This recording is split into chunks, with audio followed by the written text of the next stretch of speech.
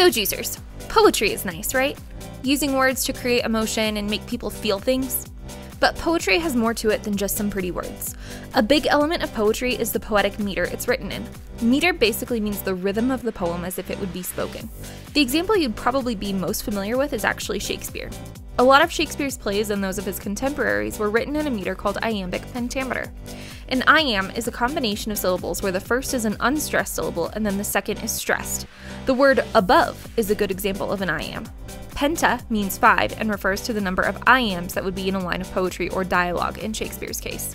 So, a line of iambic pentameter would be When I do count the clock that tells the time. There's an opposite to an iamb called a trochee, which is a combination where the first syllable is stressed and then the second is unstressed. Pumpkin is a good example of a trochee. Poetic meter like this is called a trochaic meter, and there are examples in Shakespeare too. Double, double, toil and trouble. These are just some of the many possibilities in English poetry. Take a look at what you're reading sometime and see if you can find meter in everyday life. I hope all this info doesn't leave you stressed. And that's the juice.